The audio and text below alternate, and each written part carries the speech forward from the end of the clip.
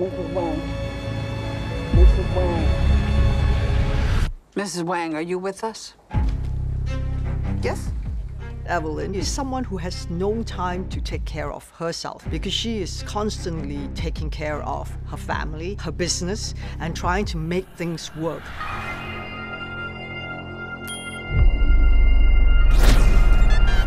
The beauty of the multiverse was like this woman was discovering things that she never thought that she could do, but then suddenly go like, oh wow, I can do all these kind of things. That made it fascinating and challenging, especially for me, to be the underdog, to be the most unlikely hero, but it gives us hope.